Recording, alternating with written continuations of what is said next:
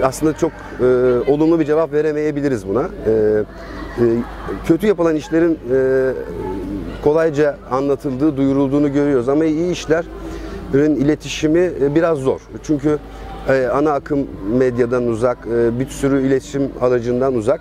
O yüzden başka kanallar, e, başka mecralar bulmak zorunda iyi işlerin anlatımı. E, bu da e, biraz yaratıcılık, biraz sebat e, ve azim gerektiriyor bence.